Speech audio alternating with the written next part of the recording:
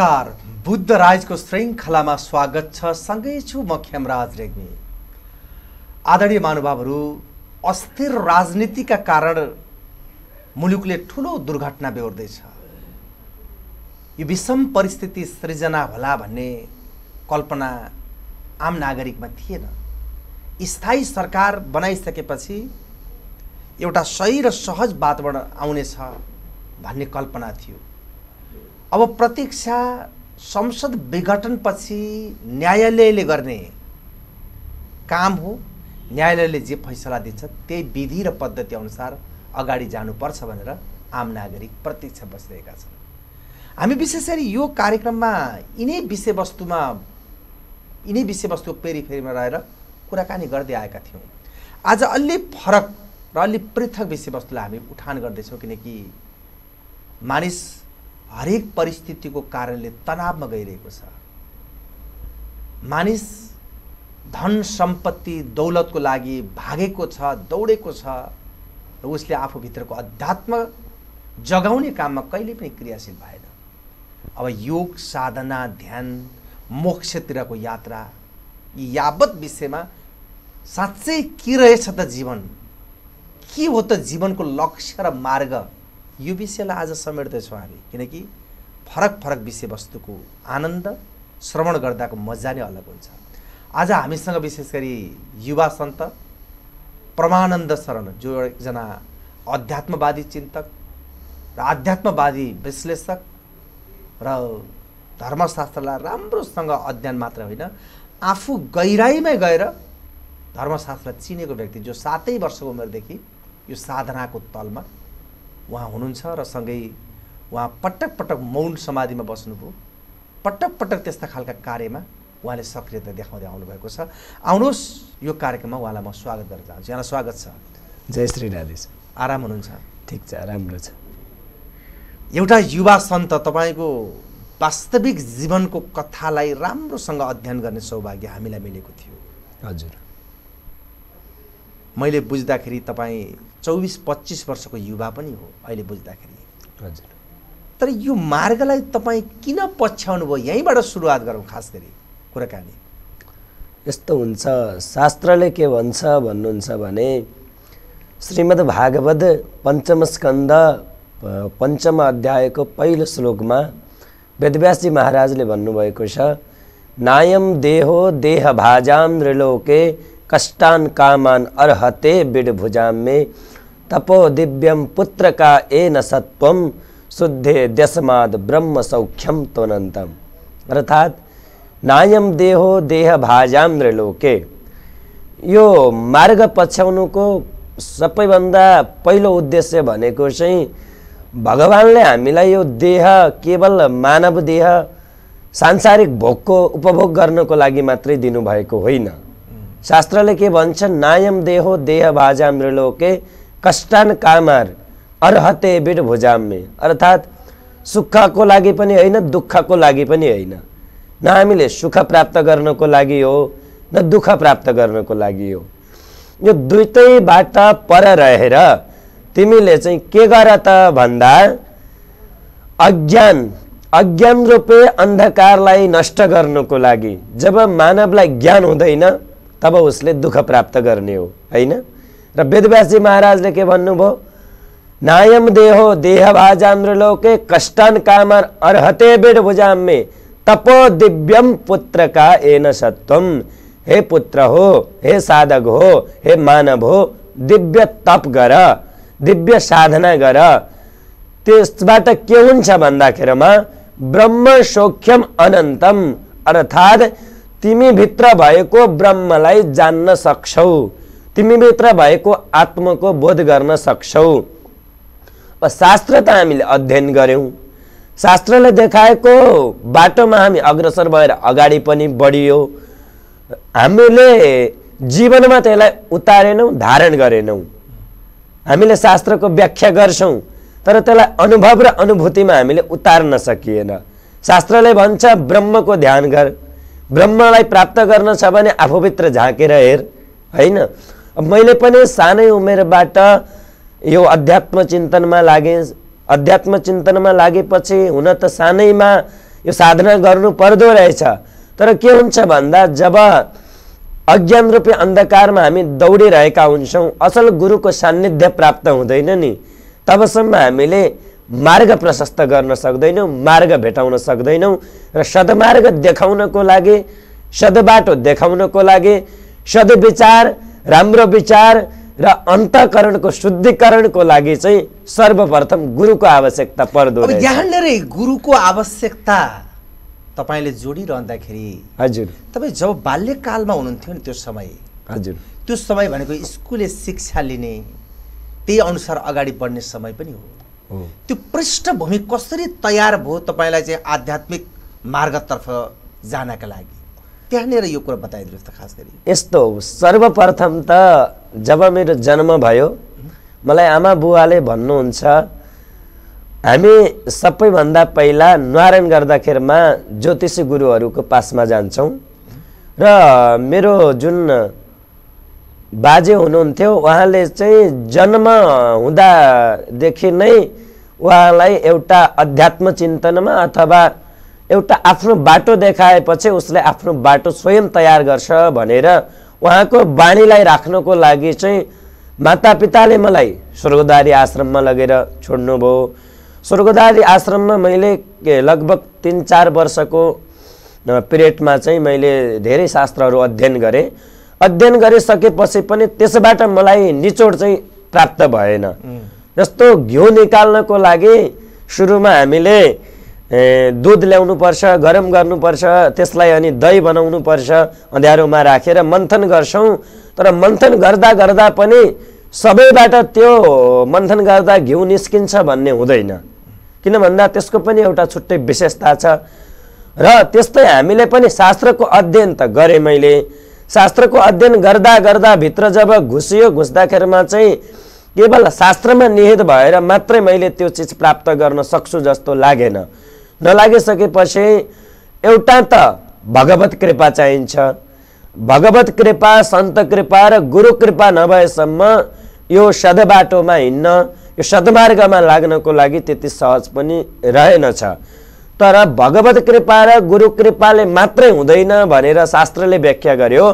अज्ञान रूपी अन्धकारबाट निस्किनको लागि केवल हामीले भगवत कृपाद्वारा मात्रै प्राप्त गर्न सक्दैनौँ। त्यसको लागि चाहिँ साक्षात् स्वयं राधा कृष्ण भगवानको कृपाको आवश्यकता पर्छ त्यो बिना हामीले कुनै पनि पत्ता हल्लाउन पनि सक्दैनौँ सम्भव नै छैन त्यही भएर जब मैले स्वर्गद्वारीबाट वृन्दावनको यात्रा गरेँ वृन्दावन भूमि यति पवित्र रहेछ कि त्यहाँको वातावरणले नै मलाई त्यो मार्ग प्रशस्त गराइदियो त्यही भएर हामीलाई कतिखेर के हुन्छ भन्ने त थाहा हुँदैन तर वातावरण शुद्ध भयो भने मार्ग चाहिँ स्वयं भगवान्ले प्रशस्त गराउनु हुँदो रहेछ भन्ने कुरा चाहिँ मैले वृन्दावनमा गएर अनुभव र अनुभूति गरेँ। तपाईँ पटक पटक मौन साधनामा पनि बस्नु भएको छ। हजुर। केही नखाइ पनि बस्नु भएको छ। हजुर। त्यो दिनको तपाईँ सम्झनुहुन्छ नि। कसरी त्यो सम्भव भयो? कसरी गर्नुभयो? यस्तो हुन्छ सबैभन्दा पहिलो प्रेरणा भनेको गुरु हो। असल गुरु जब प्राप्त हुन्छ नि असल गुरुबाट जुन ज्ञान जुन शिक्षा जुन ध्यान जुन साधना उपासना हामीले प्राप्त गर्छौँ र असल गुरुले दिएको त्यो ज्ञानबाट चाहिँ आफैभित्र त्यो आत्मबल आत्मानुभूति ऊर्जा शक्ति स्वतः नै प्राप्त हुन्छ। र आफैमा लाग्छ कि मैले केही गर्न सक्छु जीवनमा। र सुरुवातमा चाहिँ मैले गुरुदेवको आज्ञा लिएर रामदी यहाँहरूलाई थाहा छ होला सिद्ध गुफा त्यहाँ मैले लगभग बत्तिस दिनको साधना गरेँ त्यो पनि केवल दुध मात्र सेवन गरेर। बत्तिस दिनसम्म। हजुर। त्यस पछाडि मलाई के लाग्यो भन्दाखेरिमा बत्तिस दिन हामीले केवल सङ्कल्प मात्रै गरेर गर्न सक्छौँ भने हामीले सङ्कल्प गर्ने हो भने त्यो साधनालाई पुरा गराउने काम चाहिँ गुरु र भगवान्ले गर्नु हुँदो रहेछ भन्ने कुरा चाहिँ मैले त्यो ठाउँमा अनुभव र अनुभूति गरेँ। र पछिल्लो स्तरमा गएर त्यसपछि मैले कोलपुर रामजानकी गौशाला त्यहाँ पनि एक महिनाको साधना सुरुवात गरेँ र बिस्तारै आफ्नो मनमा चाहिँ के भयो भन्दा अब चाहिँ यो साधनालाई बढाउनु पर्छ। किन भन्दा जति हामीले साधना गर्छौँ त्यही अनुसार वातावरणको शुद्धि र मनको शुद्धि हुने हो। मनको शुद्धि नभएसम्म विचारको शुद्धि हुँदैन। विचारको शुद्धि नभएसम्म आत्मिक सुखको अनुभव र अनुभूति हुँदैन। त्यही भएर त्यस पछाडि मैले काठमाडौँमा पनि एक एक महिना गर्दै गएपछि अनि अन्तिममा विचार आयो यसबाट मात्रै हुँदैन। अझै अधिक साधना गर्नुपर्छ भनेर फेरि मैले गौशाला भलोई गौशालामा लगभग नौ महिनाको साधना पुरा गरेँ। तत्पश्चात पनि आफूलाई चाहिँ के हुन्छ भन्दा जस्तो जुन बाटोमा जुन कर्ममा व्यक्ति लागेको हुन्छ नि उसलाई चाहिँ यो कर्मबाट अलिकति माथि उठ्न पाए हुन्थ्यो अलिकति माथि जान पाए हुन्थ्यो जस्तो एउटा बिजनेसम्यानले एउटा मात्र बिजनेस गर्दैन के? ऊ बढाउँदै जान्छ। त्यस्तै साधना भनेको कस्तो चिज हो भन्दाखेरिमा जति धेरै हामीले गर्दै जान्छौँ नि त्यति धेरै हामीले अनुभव र अनुभूति मात्र नभएर त्यो एरिया लगभग चालिस किलोमिटर एरियासम्म त्यो साधकको भाइब्रेसनले त्यहाँ भएका सम्पूर्ण मानवलाई सम्पूर्ण मानिसहरूलाई चाहिँ अध्यात्म चिन्तनमा र सद्मार्ग देखाउने भएको कारणले चाहिँ मैले अथक प्रयास पनि गरिरहेको छु र यसमा सर्वोपरि हात भनेको मलाई लाग्छ गुरुदेवको नै छ। तपाईँ साधना गरिराख्नु भएको छ वास्तवमा। हरेक मानिसहरू निश्चित समयावधिमा पुगिसकेपछि गृहस्थतर्फ जान्छन्। हजुर। के छ तपाईँ गृहस्थतर्फ जाने सोचमा हुनुहुन्छ या यो तललाई नै बढाएर एउटा आध्यात्मिक चिन्तनबाटै जीवनलाई बदल्ने तपाईँ सोचमा हुनुहुन्छ? यस्तो जीवनलाई बदल्ने नबदल्ने यो हाम्रो हातमा हुँदैन है? दोस्रो कुरा गृहस्थमा मेरो सानैदेखि त्यो मनसाय चाहिँ छैन। जब मैले स्वर्गद्वारीमा अध्ययन गरेँ त्यतिखेरैबाट चाहिँ मैले साधनाबाट नै मानवलाई सुधार गर्नुपर्छ र साधनाभन्दा अर्को विकल्प कुनै पनि छैन भन्ने कुरा चाहिँ मैले वृन्दावनमा गएर प्राप्त गरेँ। जस्तो विवाह गर्न हुन्छ हुँदैन त्यो आफ्नो ठाउँमा छ तर उद्देश्य भनेको आफ्नो हुन्छ होइन? र मेरो उद्देश्य भनेको के छ भन्दाखेरिमा आफूले जुन गुरुले देखाएको बाटो छ त्यो बाटोमा प्रशस्त भएर आफूले जुन ज्ञान प्राप्त गरेको छु त्यो ज्ञानको माध्यमबाट नै मैले मानवको कल्याण गर्ने हित गर्ने र अब विवाह गर्ने त अब मनमा नै त्यो राखेको छैन। एक त साधनामा लाग्यो। साधनामा लागिसकेपछि संसार रूपी बन्धनबाट पृथक भएर साधना गर्ने हो। संसारको माया बन्धन कुनै पनि कुराहरूले छुँदैन जो चाहिँ असलमा साधक छ। न लोभ न ईर्ष्या न काम न क्रोध ती सम्पूर्ण चिजहरूलाई जित्यो भने मात्रै साधक बन्न सक्छ। र त्यसलाई नै ब्रह्मचारी भनिन्छ फेरि। जस्तो गृहस्थमा मैले विवाह गरिनँ भनेर मात्र ब्रह्मचारी भन्दिनँ मैले चाहिँ। क्षणे रुष्टा क्षणे तुष्टा रुष्टा तुष्टा क्षणे क्षणे भनेको छ अर्को कुरा। अनि हाम्रो सबैभन्दा पहिला मन शुद्ध हुनुपर्छ। मन पवित्र छ हजुर गृहस्थमा हुनुहुन्छ भने पनि हजुर ब्रह्मचारी नै हो। जस्तो केवल सन्तानको लागि हजुरले भोगादि क्रिया गर्नुहुन्छ अरू टाइम केवल अध्यात्म चिन्तनमा लगाउनुहुन्छ तर एउटा सन्त ब्रह्मचारी त छ तर सबै बेलामा उसले आफ्नो मन चाहिँ भोगादि चिजहरूमा लगाउँछ भने त्योभन्दा श्रेष्ठ ब्रह्मचारी चाहिँ हामीले बिहे गरेको जुन व्यक्ति छ त्यसलाई मान्छौँ। त्यही भएर सबैभन्दा पहिला मनको शुद्धि गर्नुपर्छ हामीले। र गुरुदेवको आज्ञाअनुसार र गुरुदेवलाई मैले वचन पनि दिएको छु कि आजीवन ब्रह्मचारी बसेर नै साधना गर्ने र यी साधनाकै माध्यमबाट नै देश समाज र विभिन्न क्षेत्रमा भएका जति पनि जसले मार्ग भट्किएका छन् उनीहरूलाई मार्ग देखाउने काम मात्रै गर्ने हो। अरू गर्ने गराउने भनेको त स्वयं परब्रह्म परमात्माले हो। अब एउटा महत्त्वपूर्ण कुरा मानिसहरू विभिन्न कारणले तनावमा छन्। हजुर। यति धेरै तनावमा गइसके यति धेरै पीडा छ। हजुर। सम्पत्ति अरबौँ छ तर तनावले मान्छेहरूलाई गाँजिरहेछ। प्रत्येक दिन सुत्दाखेरि सिल्पिन ट्याब्लेट खाएर सुत्नुपर्ने बाध्यता पनि छ। यस्तो परिस्थितिबाट मुक्ति पाउने के माध्यम भनेकै अध्यात्म र साधना नै हो। हो। सबैभन्दा पहिला हामीले आफ्नो सोचलाई परिवर्तन गर्नुपर्छ यसको लागि। इच्छा जुन इच्छा शक्ति छ नि कुनै पनि व्यक्तिले मैले मोक्ष प्राप्त गर्न चाहन्छु भन्ने इच्छा राख्छ भने उसले प्राप्त गर्न सक्दैन। किन भन्दा भगवान् श्रीकृष्णले अर्जुनलाई भन्नुभयो कर्मण्येवाधिकारस्ते मा फलेषु कदाचन मा कर्म फलहेतु भुर माते सङ्गुस्त्व कर्मणि। अर्थात् तिमीले मोक्ष प्राप्त गर्ने चाहना गर्छौ तर त्यसमा तिम्रो कुनै इच्छा छ भने तिमीले प्राप्त गर्न सक्दैनौ। हामी सबैले आफ्नो सोचलाई बदल्नुपर्छ साधना र उपासनाबाट मात्रै हामीले मोक्ष प्राप्त गर्न सकिँदैन जबसम्म हामीले आफ्नो विचारलाई बदल्दैनौँ इच्छा आकाङ्क्षाहरूलाई हामीले बदल्दैनौँ। किन भन्दा हामीभित्र इच्छा छ आकाङ्क्षा छ म साधना गर्छु। साधना गरिसकेपछि मैले यो प्राप्त गर्ने चाहना राख्छु भने त्यो साधनाबाट मलाई कुनै पनि लाभ हुँदैन। त्यही भएर जति पनि तनाव त्यसको लागि एउटा बाटो त छ नभएको होइन। असल गुरुको सान्निध्य प्राप्त गरेर उसले इच्छा आकाङ्क्षादेखि पर रहेर साधना गर्छ ध्यान गर्छ उपासना गर्छ भने मलाई लाग्छ उसले उत्तम आफ्नो जीवनशैलीलाई पनि बनाउँछ र आनन्दको प्राप्ति गर्छ वास्तविक आनन्दको। अहिले चाहिँ के छ? मानव क्षणभरको आनन्दमा भौतारिरहेको छ के? केही चिज प्राप्त गरे उसलाई लाग्छ सर्वस्व प्राप्त गरेँ।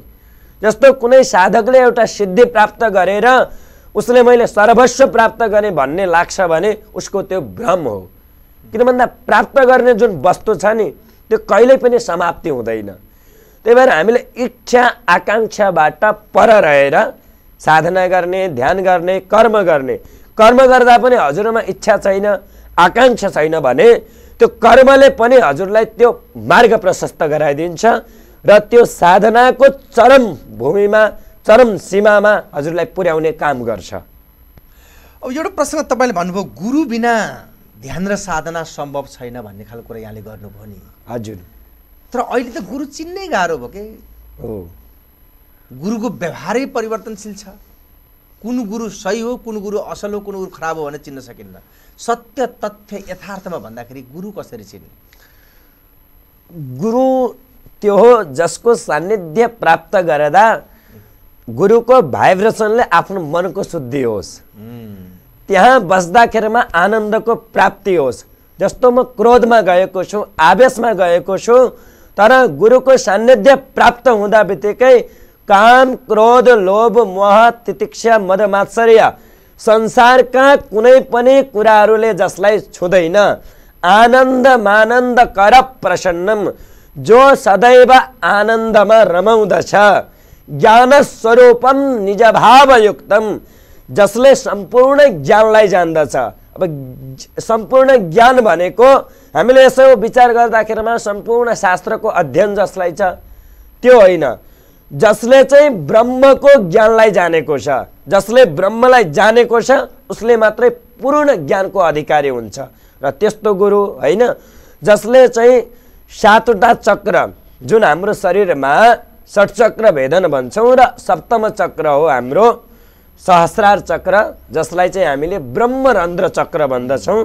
त्यहाँबाट प्राण त्यहाँ हामीले प्राण लगेर चढाएपछि पूर्ण समाधिस्थ बनिन्छ र त्यो सम्पूर्ण चक्रहरूको भेदन गरिसके पछाडि के हुन्छ भन्दा काम क्रोध लोभ मोह तितिक्षा मदमाश्चर्य मात्र नभएर त्यस्तो गुरुको अगाडि प्रकृति पनि अनुकूल हुने।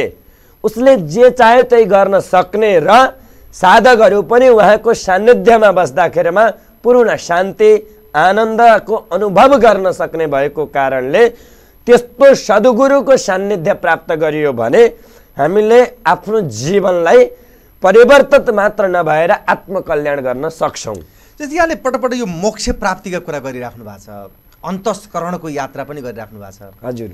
के हो त्यो अन्तस्करण भनेको मोक्ष प्राप्ति भनेर भन्नाले कसरी बुझ्ने के हो खास? यो जिउँदा सधैँ जिउँदो सधैँ मोक्ष प्राप्ति हुने हो कि मरिसकेपछि मोक्ष प्राप्ति हुने हो? मोक्ष प्राप्ति गर्नको लागि त जिउँदै हुनुपर्छ। जबसम्म हाम्रो यो मानव शरीर छ यो मानव देहद्वारा नै हामीले मोक्ष प्राप्त गर्ने हो। भगवान्ले हामीलाई यो शरीर किन दिनुभएको भन्नुहुन्छ भने तिमीले साधना र उपासना गरेर मोक्ष प्राप्त गर। अन्य शरीर जुन सूक्ष्म शरीर छ सूक्ष्म शरीरद्वारा हामीले साधना गर्न सक्दैनौँ। तर यो शरीर जुन दिनुभएको छ नि यही शरीरद्वारा अब अन्तकरणको शुद्धि कसरी गर्ने भन्नुहुन्छ भने श्रीमद् भागवतको महात्म्यको पहिलो श्लोकमा नै वेदव्यासी महाराजले भन्नुभयो पद्मपुराणले गाएको छ सच्चिदानन्द रूपाय जो सत्यमा रहन्छ जसले सत्य बोल्छ जसले सत्य गर्छ अब साधना गर्छ बाह्य रूपमा होइन अन्तरात्माबाट गर्नु पर्यो। कुनै पनि कुरा गर्दा सत्य बोल्छ भने त्यसको चित्तको शुद्धि हुन्छ। सत्य नबोलेपछि मनमा कुनै न कुनै शङ्का उपशङ्काहरू आउन थाल्छन्। हो त्यो सत्य बोल्नाले सचित आनन्द। चित्तको शुद्धि अन्तकरणको शुद्धि भयो भने के हुन्छ? आनन्दको प्राप्ति हुन्छ। त्यो कस्तो आनन्द भन्दाखेरिमा जो हिजो पनि थियो आज पनि छ र यो मानव देह छँदा पनि र पछि मानव देह पछि पनि जो रहिरहन्छ जो अनित्य छ जो पुरातन छ सनातन छ जसको कहिल्यै न नाश हुँदैन जो कहिले नष्ट हुँदैन त्यसको लागि हामीले सबैभन्दा पहिला सद्बाटो अप्नाउनु पर्छ सद्विचार अप्नाउनु पर्छ र सत्य बोल्नुपर्छ। अनि मात्रै हामीले आनन्दको प्राप्ति गर्छौँ। अन्तकरणको भयो। अब मोक्ष प्राप्त गर्ने कुरा छ है। मोक्ष प्राप्त गर्नको लागि सर्वप्रथम हामीले साधना नै गर्नुपर्छ। साधना बिना हाम्रो जीवन निरर्थक मानिन्छ। हजुरको जन्म भयो जन्म भयो जन्म भएपछि हजुरले आफ्नो बच्चा आदिको पालन पोषण त गर्नुभयो। त्यो त एउटा अन्य प्राणीले पनि गर्छ। हामीले देखिरहेका छौँ। तर मानवको वास्तविक कर्म र वास्तविक गर्नुपर्ने उद्देश्य चाहिँ के हो भन्दाखेरिमा सबैभन्दा पहिला तिमीले आफूलाई बुझ आफूलाई जान। अनि मात्रै तिमीले समाजलाई बुझ्न सक्छौ समाजलाई सुधार्न सक्छौ। र मोक्ष प्राप्त गर्ने चाहने व्यक्तिले आत्मवध परदारेषु परद्रव्येषु लोष्टवध अर्थात् सबैभित्र त्यो आत्मालाई देख्न सक्नु पर्यो।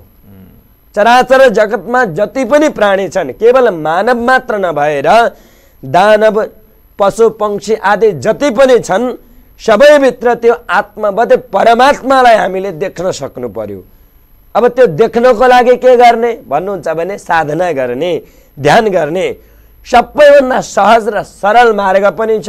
त्यसको लागि हामीले आज्ञा चक्रको ध्यान गर्नुपर्छ। जस्तै यो ध्यानको कुरा गुरुदेवले उठाउनु भयो नि जस्तै ध्यान भनेर मान्छेहरू एउटा आसनमा बस्ने त्यसपछि हात समात्ने आँखा चिम्म गरेर बस्ने भन्ने बुझ्छन्। हजुर। तर यो सरल र सही उपाय के हो ध्यान गर्ने? कुन विधिलाई अवलम्बन गर्न सक्यो भने उसले ध्यानको चरणमा ऊ प्रवेश गर्न सक्छ? यो सरल तरिकाले बताइदिनुहोस् खास गरी। यस्तो हुन्छ ध्यानको लागि सबैभन्दा पहिला सिद्ध भएको हुनुपर्छ। आफू। आफू होइन जुन ध्यान हामीले गर्दैछौँ त्यो स्वतः नै सिद्ध हुनुपर्छ। ध्यान विधि। हजुर। किन भन्दा हामीले कुनै पनि मन्त्र जप गर्छौँ ज जस्तो हजुरले गायत्री मन्त्र जप गर्नुहुन्छ अथवा हामीले त्र्यम्बकम झजामय सुगन्धिम होइन? यो मन्त्र जप गर्छौँ नम शिवाय जप गर्छौँ। जब हामीले त्यो गुरुबाट प्राप्त गर्छौँ नि गुरुले त्यो मन्त्र सिद्ध गरेको छैन भने हजुरले जप्नुहुन्छ भने काम गर्दैन त्यसले। त्यस्तै ध्यान गर्नको लागि विधि भनेको केही छैन त्यसमा नियम। जस्तो हामीले आज्ञा चक्रको ध्यान त गर्ने हो मार्ग भनेको चाहिँ जुन परम्परागत छ भनेको अहिले कुनै व्यक्ति विशेष कुनै गुरु विशेषले बनाएको होइन कि जुन चाहिँ स्वयं परब्रह्म परमात्माले सिकाउनु भएको जुन मार्ग छ त्यो मार्गलाई हामीले अपनाउने हो। परम्परागत भनेको अब हामीले बुझ्दाखेरिमा जस्तो अहिले चारवटा सम्प्रदाय छ निम्बार्क सम्प्रदाय माधवाचार्य वल्लभाचार्य अनि रामानुजाचार्य। यसो कुरा गर्दाखेरिमा सम्प्रदायको पनि हुनसक्छ। तर मैले आफूले अनुभव र अनुभूति गरे अनुसार परम्परागत भन्दा बाह्य ध्यान हामीले गर्ने हो भने त्यसबाट चाहिँ प्राप्ति चाहिँ छैन। केवल क्षणभङ्गुर र क्षणभरको लागि हामीले प्राप्त शान्ति अनुभव र अनुभूति त गर्न सक्छौँ। वास्तविक सुख वास्तविक आनन्दको प्राप्ति गर्न चाहने साधक र साधिकाले परम्परागत ध्यान जो चाहिँ स्वतः सिद्ध छ केवल गुरुको निर्देशनमा उसले त्यो मार्गलाई अपनाउँदछ त्यो अनुसरण गर्दछ भने उसले प्राप्त गरिहाल्छ। कसरी भन्नुहुन्छ भने यहाँले कथा धेरै सुन्नुभएको छ धेरै धार्मिक क्षेत्रमा हजुरले उद्घोषण गर्नुहुन्छ। निगमकल्पतरोर गलितम फलम। सुखमुखादमित द्रवसन युतम। भागवतम रसम आलयम मुहुरहो रसिका भूमि हामीले भागवत किन सुन्छौँ? जब हामीले त्यसको रसस्वादन गर्छौँ नि आनन्दको प्राप्ति हुन्छ। एकचोटि हामीले भागवत सुनेर हाम्रो मन तृप्त हुँदैन। साधना पनि के हो भन्दाखेरिमा जुन साधना गर्दाखेरिमा त्यो नव भनेको सधैँ नयाँ होस् के? पुरानो नहोस्। जस्तो भागवत हामीले आज गऱ्यौँ भोलि गऱ्यौँ भने पनि त्यो सधैँ नयाँ नै हुन्छ। त्यस्तै निगमकल पतारोर गलितम फलम जो पाकिसकेको छ आफैमा जो पूर्ण सिद्ध छ। सिद्ध भएको कारणले गर्दाखेरिमा त्यो भित्रबाट जुन हामीले कथाहरू सुन्छौँ नि त्यो कथाहरूले हाम्रो अन्तकरणको शुद्धिकरण गर्छ मनको शुद्धिकरण गर्छ। कसरी गर्छ भन्नुहुन्छ भने ब्रह्मवेत्ता तत्त्वपुरुष व्यासले त्यसको प्रवचन गरेर कथा श्रवण गराउँछ भने हाम्रो अन्तकरणको शुद्धि हुने हो। केवल बाह्य रूपमा हामीले कथा श्रवण गराउँदा हुँदैन। व्यासाय विष्णु रूपाय व्यास रूपाय विष्णवे। अर्थात् जसले चाहिँ त्यो ब्रह्मलाई हृदयमा धारण गरेर कथा श्रवण गराउँछ। हो त्यस्तै ध्यान मार्गमा पनि जसले ब्रह्मलाई धारण गरेको छ आफूभित्र अनुभव गरेको छ अनुभूति गरेको छ त्यस्तो मार्गलाई त्यस्तो साधनालाई अप्नाउँछौँ भने हामीले आफ्नो जीवनलाई अवश्यमेव सुधार्न सक्छौँ र आनन्दको प्राप्ति गराउन सक्छौँ। त्यसको लागि कुनै नियम छैन। केवल हजुरले बिहान उठेर एक घडी से अधिक समय भनेको छ एक घडी भनेको चौबिस मिनट हुन्छ। चौबिस मिनटसम्म हामीले आज्ञा चक्र भनेको हाम्रो भ्रुमौको मध्य भाग जसलाई हामीले तेस्रो आँखा भन्छौँ। त्यो तेस्रो आँखा किन बनियो भन्दाखेरिमा यो संसार बाह्य संसार देख्नको लागि परब्रह्म परमात्माले हामीलाई दुईवटा आँखा दिनुभएको छ। संसारमा भएका सबै चिजलाई हामीले देख्न सक्छौँ र तेस्रो आँखा भनेको आज्ञा चक्र। आज्ञा चक्रको उत्थान र भेदन नगरेसम्म वास्तविक ज्ञानको प्राप्ति पनि हुँदैन र वास्तविक सुखको प्राप्ति पनि हुँदैन। त्यसको भेदन गर्नको लागि केवल हामीले यो अङ्गु अङ्गुठा छ नि अङ्गुष्ठ प्रमाण ज्योतिको ध्यान गर्ने हो। अब यो यसमा भन्दा पनि हामीले सान्निध्यमा रहेर गर्दा धेरै सहज हुन्छ। यसरी अब सबै कुराहरू हामीले टेलिभिजनको माध्यमबाट भन्न पनि मिल्दैन। किन भन्दा जुन पात्र छ सत्पात्रलाई ज्ञान दिनु भनेको छ। कुपात्रलाई ज्ञान दियो भने त्यो कुपात्रले त्यो ज्ञानलाई नै भ्रष्ट बनाइदिन्छ। त्यही भएर सत्पात्र जसमा चाहिँ पूर्ण इच्छा छ आकाङ्क्षा छ भने त्यो भित्र त्यस्तो आकाङ्क्षा छ भने परब्रह्म परमात्माले नै त्यस्ता गुरुहरूसँग मिलन गराइदिनुहुन्छ जसले चाहिँ ब्रह्मको साक्षात्कार गरेर स्वयं जो सिद्ध छ र उसबाट उसले प्राप्त गर्न सक्छ। र अब सांसारिक हामी मानवहरूको लागि केवल हामीले आज्ञा चक्रको मात्रै पनि ध्यान गर्न सक्ने हो भने हामीले आफ्नो जीवनलाई नै परिवर्तन मात्र नभएर आत्मकल्याण र केवल आज्ञा चक्रको उत्थान र आज्ञा चक्रको साक्षात्कार गर्ने हो भने मात्रै पनि हामीले मोक्ष प्राप्त गर्न सक्छौँ। अब एउटा प्रसङ्ग जन्म र मृत्युको कुरा छ नि। हजुर। जन्म र मृत्युसँगै पुनर्जन्म पनि आइरहेछ। हजुर। त्यो पनि यो अध्यात्ममा पूर्वेली दर्शनले दिएको दर्शन हो। कहाँनिर कसरी बुझ्ने? न मानिसले त्यो अतीतको जन्मलाई सम्झन सक्छ। न पुनर्जन्मको चाहिँ तपाईँ व्याख्या गर्न सक्छ। तर त्यो ध्यान र साधनाबाट यो पुनर्जन्म हुन्छ भनेर बुझ्ने कुनै आधार छ? यस्तो साधनाबाट साधना गरेको व्यक्तिले पुनर्जन्म हुन्छ भनेर त भन्दैन। किन भन्दा जब हामी समाधिस्थ बन्छौँ अँ। समाधिस्थ बनिसकेपछि जन्म मृत्युको चक्रबन्धनबाट मुक्त पुरुष त्यसलाई भनिन्छ। जन्म र मृत्युको जुन सम्बन्ध छ नि यो चाहिँ क्षणभङ्गुर हो। जस्तो जन्म र मृत्युको बिचमा के छ भन्दाखेरिमा एउटा दिवार छ कि त्यो दिवारलाई फाँदेर गएपछि हामीले असली चिज प्राप्त गर्दछौँ। र त्यो दिवारबाट जस्तो दिवार छ त्योबाट हामी निस्किन पनि चाहन्नौँ यतै हामीले सम्पूर्ण चिज प्राप्त गरेका छौँ भने त्यो वास्तविक चिजलाई प्राप्त गर्न सक्दैनौँ। र अर्को कुरा जन्म र मृत्यु जुन अध्यात्म चिन्तनसँग जोडिएको कुराहरू छ जन्म र मृत्यु भन्ने छँदै छैन कि? न जन्म न मृत्यु। किन भन्दा जसले ब्रह्मको बोध गर्छ उसको लागि न जन्म छ न मृत्यु छ। जन्म र मृत्युदेखि जो पर छ त्यो नै ब्रह्म हो। त्यो ब्रह्म भनेको को? हजुर पनि हो म पनि हो। ब्रह्मविद ब्रह्मैमा भवति।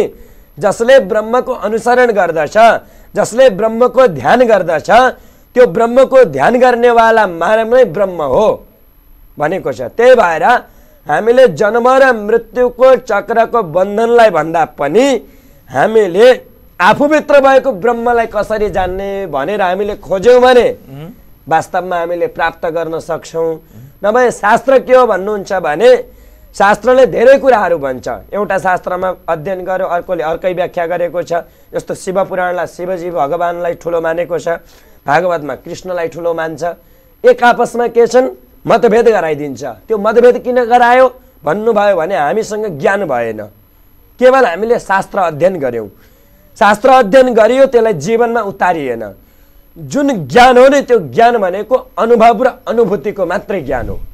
त्यो अनुभव र अनुभूतिको ज्ञानले नै मानवलाई सुधार्न सकिन्छ र मानवलाई सद्मार्गमा र अध्यात्म चिन्तनमा ल्याउन छ भने अध्यात्म विद्या जुन कहिले नष्ट हुँदैन जुन कहिले नाश हुँदैन त्यो अध्यात्म विद्यालाई हामीले अप्नाउन सकियो भने जन्म र मृत्युको हामीमा भया पनि रहँदैन। किन भन्दा मृत्युको बोध हुनु नै मानवको सबैभन्दा ठुलो उत्तम प्रगति हो। जस्तो मृत्युको बोध भयो भने मलाई के हुन्छ?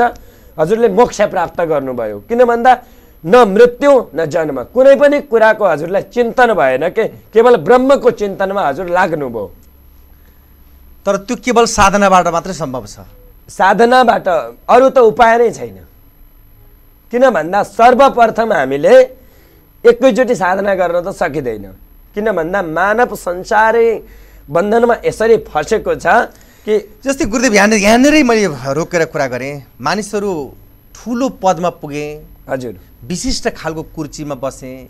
धेरै मानिसहरू मेरा आफन्त भए। धेरै सम्पत्ति जोडेँ। भनेर यो भौतिक जीवन बाँचिरहँदाखेरि त्यो व्याख्या गर्नु बेकार हो भन्ने तर्क हो यो। हो। त्यसलाई भन्छ अज्ञान। अज्ञान रूपी अन्धकारले गर्दाखेरिमा मानवले के सोच्छ भन्दाखेरिमा यो मेरो शरीर नै अमर हो। उसले के चाहन्छ यो कहिल्यै मर्दैन। अमर हो म त किन भन्दा जसले शरीरलाई बुझ्दछ नि देहेश थिमाम सरु धीरे भिमतिम त्यजत्वम यो देह के को लागि हो। भन्दाखेरिमा तिमीलाई केवल साधना गर्नको लागि प्रदान गरेको हो। त्यसको विपरीत काम गर्छौ भने कर्मको अनुसार तिमीले फल प्राप्त गर्दछौ। भनेर भगवान् श्रीकृष्णले गीतामा पनि भन्नुभएको छ। जसले साधना गर्न चाहन्छ नि जो उपासना ध्यान मार्गमा लाग्न चाहन्छ मैले भनिरहनु भन्दा पनि हजुरले अनुभव र अनुभूति गर्न छ भने सबैभन्दा पहिला हजुरले गीताको अध्ययन गर्नुहोस्। गीताले हजुरलाई कर्म धर्म ज्ञान र भक्तिको पूर्ण बोध गराउँछ जब चारवटाको बोध हुन्छ अनि न हजुरलाई मदले सताउँछ न मात्सर्यले। किन भन्दा व्यक्ति जब कुनै ठुलो सिंहासनमा अथवा कुनै ठुलो पदमा बस्छ नि पदमा बसेपछि के आउँछ? मद आउँछ। मद भनेको अहङ्कार हो काम हो क्रोध हो। त्यो मद चढिसके पछाडि ऊ तल खस्न सक्दैन। त्यो मदले गर्दाखेरिमा उसको जीवन बर्बाद हुन्छ। त्यही भएर काम क्रोध लोभ मोह मद। यी पाँचवटा चिजलाई जसले त्याग्न सक्छ ऊ ब्रह्मचारी होस् सन्त होस् साधु होस् गृहस्थी होस् कुनै पनि किन नहोस् यी पाँचवटा चिज जसमा छैनन् उसले नै परब्रह्म परमात्मालाई प्राप्ति गर्न चाहन्छ र वास्तविक आनन्दको प्राप्ति पनि उसैले लिन सक्छ। अब हामी करिब अन्त्यमा छौँ। बडो सुन्दर बाणी तपाईँले दिइराख्नु भएको छ। बाइस तेइस वर्षको तिस तेइस चौबिस वर्षको एउटा युवा। म अब गृहस्थमा पनि जाँदिनँ। म साधनामै म आफूलाई लैजाँदैछु। म ब्रह्मको चाहिँ तपाईँको खोजीमा छु भन्ने खालको तपाईँ अभिव्यक्ति दिइराख्नु भएको छ। र जुन एउटा विकराल परिस्थिति छ मुलुकमा अहिले जुन तपाईँ देखिराख्नु भएको छ हजुर। हामी गौतम बुद्धको देश भनेर गर्व गर्छौँ पशुपतिको देश भनेर गर्व गर्छौँ। वास्तवमा प्रत्येक ढुङ्गा ढुङ्गामा देवताको वास छ भनेर हामी गर्व गर्छौँ।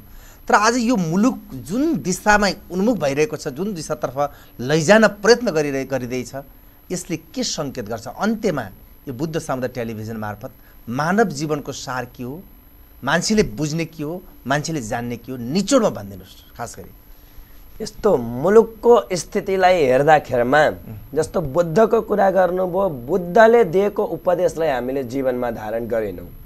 भगवान् पशुपतिले जुन हामीलाई मार्ग देखाउनु भयो त्यो मार्गबाट अर्को मार्गतिर भट्क्यौँ होइन? र मानवको वास्तवमा उद्देश्य भनेको नै ब्रह्म प्राप्ति हो जसले पनि शान्ति प्राप्त गर्न चाहन्छ आनन्दको प्राप्ति गर्न चाहन्छ। जो प्रधानमन्त्री भए पनि राजै भए पनि अन्तिममा चाहिने भनेको आनन्दै हो र आनन्द प्राप्त गर्नको लागि संसारको चराचर कुना जुनसुकै कुनामा पुग्नुहोस्। जबसम्म हजुरले आफूभित्र झाँक्नु हुँदैन आफूभित्र हेर्नु हुँदैन आनन्दको प्राप्ति र मानव जन्मलाई हजुरले बुझ्न सक्नु हुँदैन। सबैभन्दा पहिला हजुरले आफूलाई बुझ्नुहोस् के? आफूलाई बुझियो भने अर्कालाई बुझ्न सकिन्छ। र देशको परिस्थिति र देशलाई हामीले सुधार्न छ अध्यात्म चिन्तनमा ल्याउन छ भने मलाई के लाग्छ भन्दा मैले जुन साधना गरेँ साधनाको अनुभव र अनुभूतिले के बताउँछ भन्नुहुन्छ भने लगभग हामीले पचासदेखि सयजना युवा किन भन्दा वृद्ध व्यक्तिले केवल आत्मकल्याण गर्न सक्छ उनीहरूले अरूलाई सत्मार्गतिर लगाउन सम्भव छैन। किन भन्दा उहाँको शरीरले पनि साथ दिँदैन। तर पचासदेखि सयजना युवाहरू समाधिस्थ बन्न सक्छन् भने मलाई लाग्छ पुरै देशलाई मात्र नभएर हामीले विश्वलाई पनि हामीले अध्यात्म चिन्तनमा ढाल्न सक्छौँ। त्यो क्षमता हामीले साधनाबाट प्राप्त गर्न सकिन्छ। कसरी अनुभव भयो भन्नुहुन्छ भने जब हामी साधना गर्छौँ नि साधना गर्ने कुनै पनि साधक किन नहोस् उसको त्यो साधनाको तपोबल चालिस किलोमिटर एरियाभित्र काम गर्छ। भनेपछि लगभग नेपालको क्षेत्रफल भनेको पूर्व मेचीदेखि पश्चिम महाकालीसम्म हजारदेखि बाह्र सय किलोमिटर छ। भनेपछि प्रत्येक जिल्ला जिल्लामा हामीले एउटा साधक प्राप्त गराउन सक्ने हो प्राप्त गर्ने हो भने देश आफै अध्यात्म चिन्तनमा ढल्छ। अब त्यसको लागि हामी सबैले पहल गर्नुपर्छ। केवल हामीले भागवतको कथा श्रवण गराएर हुँदैन। भागवत कथा श्रवण गराउनुको उद्देश्य के छ त? सबैको के छ? अर्थ होइन? अनि अर्थ प्राप्त गर्नतिर नलागेर हामीले चाहिँ ब्रह्म प्राप्तिको मार्गतिर लाग्नुपर्छ।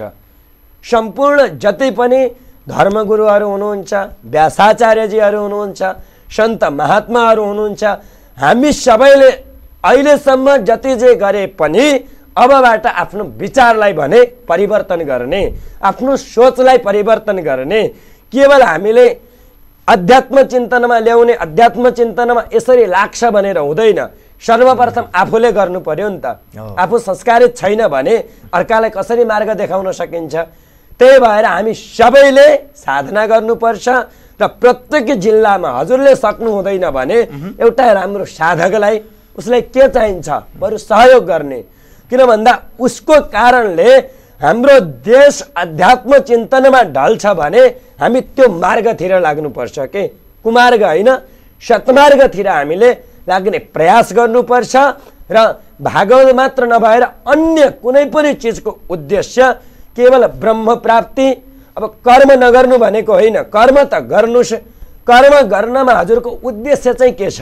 त्यो उद्देश्यलाई भने हजुरले स्वयं निराकरण गर्नुहोस् के? स्वयं आकलन गर्नुहोस् अनि मात्रै हजुरले आफ्नो जीवनलाई बुझ्नुहुन्छ देशलाई बुझ्नुहुन्छ समाजलाई बुझ्नुहुन्छ र सम्पूर्ण देशको हामीले शुद्धिकरण गर्न सक्छौँ समाजको शुद्धिकरण गर्न सकिन्छ। महत्त्वपूर्ण समय दिनुभयो यहाँलाई म विशेष धन्यवाद र आभार व्यक्त गर्न चाहन्छु। राधे राधे साधुवाद। आदरणीय दर्शक महानुभाव आज हामीले जीवन र जगतको विषयमा कुरा गऱ्यौँ। यो मानव जीवन पाइसकेपछि अर्थको खोजीमा होइन मोक्षको खोजीमा लाग्नुपर्छ र ब्रह्मलाई चिन्नुपर्छ। यथार्थ आजको अन्तर्वार्ताबाट आजको कुराकानीबाट हामीले अनुभूत गऱ्यौँ आज हामीले यस्ता साधक जसले प्रारम्भकालदेखि नै आफूलाई साधनामा डुबाइराख्नु भएको छ। एउटा बाइस तेइस वर्षको युवा जसले साधनाको माध्यमबाट जीवनलाई बदल्न सकिन्छ ब्रह्मज्ञान प्राप्ति हुनसक्छ भनेर लाग्नु बडो महत्त्वपूर्ण विषय पनि हो। हामीले कुराकानी गऱ्यौँ युवा सन्त प्रमाण प्रमानन्द शरणसँग। उहाँसँगको यो कुराकानीसँगै यो कार्यक्रमबाट प्रविधिमा रहेर साथ दिने मित्र नारायण पाण्डेलाई धन्यवाद दिँदै म पनि आगे चाहन्छु।